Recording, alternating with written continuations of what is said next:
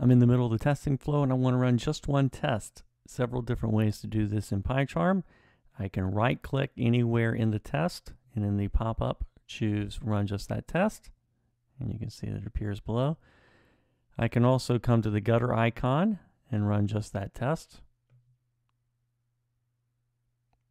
Many other ways I can do it. I can run a class. I can right click anywhere in the module and run the entire file. I can use other UI places like go to the directory and right click and run from there or in the file tree as well as coming down to here and going into the tool window and choosing the test that I want to run.